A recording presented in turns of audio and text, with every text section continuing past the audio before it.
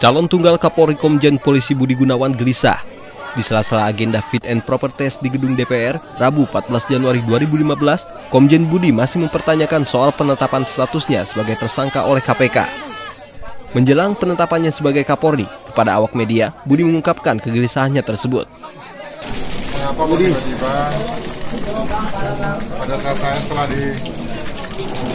diputuskan atau ditetapkan oleh Bapak Presiden sebagai calon Kapolri dan menjelang pelaksanaan fit dan protes maka tiba-tiba penetapan status tersangka itu dikeluarkan.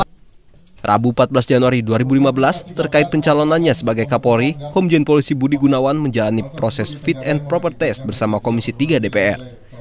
Hasil fit and proper test akan disampaikan di paripurna hari Kamis 15 Januari 2015 kelompok minoritas dan marginal